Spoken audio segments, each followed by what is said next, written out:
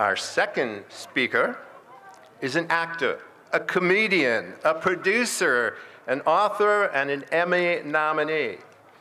He's known for um, being on the cast of Saturday Night Live for seven years, 30 Rock for another seven years, starring as Tracy Jordan, and starring as Trey Barker in The Last OG. Help me welcome to, well, welcome to the stage, a Walk of Famer in his own right, Tracy Morgan.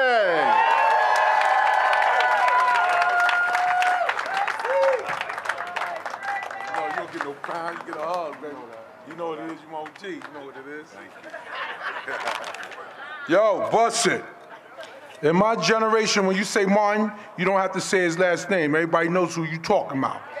My parents had Redd Foxx and Sanford and Son. We had Martin Lawrence and The Martin Show the show that made you rush home from work, and you and your family sat around the TV and watched and laughed your ass off. And everybody talked about it at work the next day. That was one part of Martin's legacy.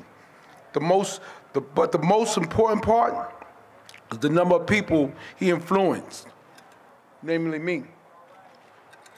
I had a friend named Raul in Puerto Rican George who worked for Russell Simmons, and he gave me and my brother Jim some tickets to see Martin host Def Jam.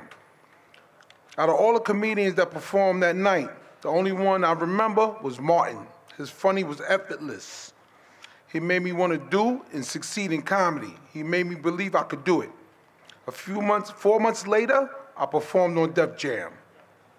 I thought that would be the last time meeting him because out of nervousness, I smacked him on the ass when he introduced me and passed me the mic. I thought it was a good pass. We ain't dropped the mic might get into drop. And afterwards, I thought he was mad at me and even hated me. But to my surprise, he called me a year later. I walked my son to the school, and when I came home, my wife, Sabina, said, Martin Lawrence just called you. I said, yeah, right, Martin didn't call me. He ain't called me. Ten minutes later, he called, okay? He called me back and he said, what's up, wild boy? Because that's what he used to always call me, wild boy. Remember that? He used to call you and Billy, he used to call me wild boy. What's up, wild boy? And after a short time on the show, Martin and Kenny Buford wrote the role Hustle Man. For, for me, which changed me and my family's life forever. Because of that, we moved out of the ghetto. But we still ate Franks and pork and bean juice. Thank you, my friend. Thank you very much.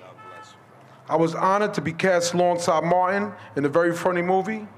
I did, I, I did a thin line between love and hate with Lynn. I thank both of y'all. And uh, also Death at a Funeral with my other comedic hero, Chris Rock. When you get a star on the Walk of Fame in Hollywood, it cements you as a legend. But Martin, you have been more than that to me and so many others. You are my brother and a mentor and I'm so happy to give and giving you and Sean Lampkin your roses. You will always, always be my OG. I love you, Marty Ma.